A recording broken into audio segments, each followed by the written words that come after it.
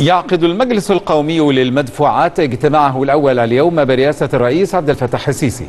ويختص المجلس بخفض استخدام أوراق النقد خارج القطاع المصرفي وتحفيز استخدام الوسائل الإلكترونية في الدفع. كذلك تطوير نظم الدفع القومية والعمل على تحقيق الشمول المالي بهدف دمج أكبر عدد من المواطنين في النظام المصرفي. كما يهدف إلى ضم القطاع غير الرسمي إلى القطاع الرسمي. وتخفيض تكلفة انتقال الأموال وزيادة المتحصلات الضريبية.